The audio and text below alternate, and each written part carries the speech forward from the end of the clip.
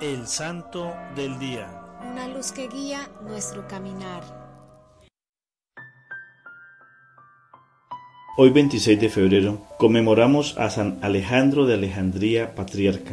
Nació en épocas de consolidación de la Iglesia en el Imperio Romano el primer rasgo de su vida, en el que convienen todos los historiadores, nos lo presenta como un hombre de carácter dulce y afable, lleno siempre de un entrañable amor y caridad para con sus hermanos y en particular para con los pobres. Esta caridad, unida con un espíritu de conciliación tan conforme con los rasgos característicos de la primitiva iglesia, proyecta una luz muy especial sobre la figura de San Alejandro de Alejandría, que conviene tener muy presente en medio de las persistentes luchas que tuvo que mantener más tarde contra la herejía pues viéndolo envuelto en las más duras batallas contra el arrianismo, pudiera creerse que era de carácter belicoso, intransigente y acometedor.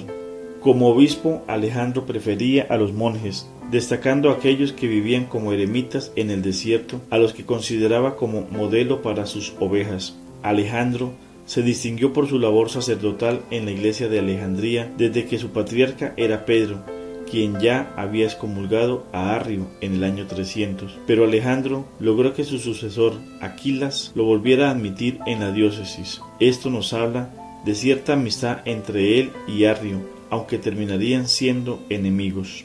Aquilas falleció prematuramente y en el año 313 San Alejandro fue designado patriarca de Alejandría. Sentía cierta predilección por los ermitaños, pues se entregaban a Dios en soledad. También insistió en la caridad con los pobres en la diócesis bajo su control, virtudes por las que fue famoso, y mandó construir una iglesia dedicada a San Teonás, la mayor de las construidas hasta entonces en Alejandría.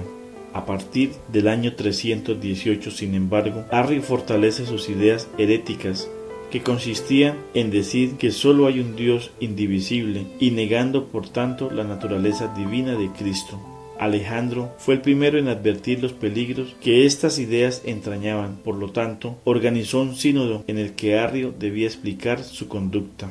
Al ser Arrio incapaz de hacerlo, en el primer concilio de Nicea en el año 325, Alejandro consigue unir a todos los obispos para condenar firmemente el arrianismo. La labor de Alejandro en este concilio sería de capital importancia posteriormente, dado que unos años más tarde el emperador Teodosio I tomó la trascendental decisión de hacer del cristianismo niceno o catolicismo la religión oficial del imperio mediante el edicto de Tesalónica del año 380.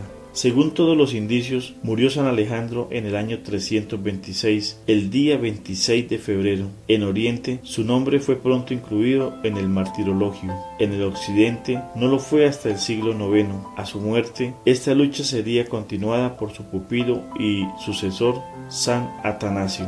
Nuestro santo de este día nos muestra que a veces hay que dejar a un lado la bondad para defender las convicciones. En este día la iglesia también nos recuerda a Santo Porfirio de Gaza, Santa Paula de José de Calasanz, Beata Piedad de la Cruz Ortiz Real, Beato Roberto Drury, presbítero y mártir.